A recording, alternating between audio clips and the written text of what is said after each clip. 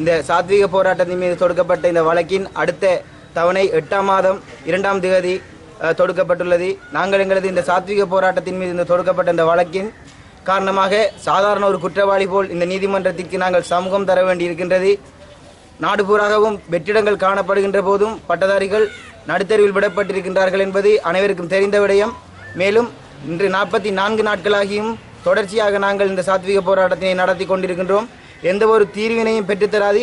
ஒரு தீர்வினை பெற்றுத்தர வேண்டிய நிலையில் உள்ள அரசு எங்களை நீதிமன்றத்துக்கு அழைப்பு விடுத்துள்ளமை மிகுந்த வேதனைக்குரிய விடயமாகும்.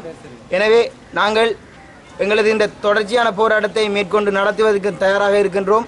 அதற்காக நீதிமன்றம் மட்டுமல்ல வேறு எங்கு வேணுமானாலும் செல்வதற்கும் தயாராக இருக்கின்றோம் என்பதை இடத்தில் கூறிக்கொள்கின்றேன்.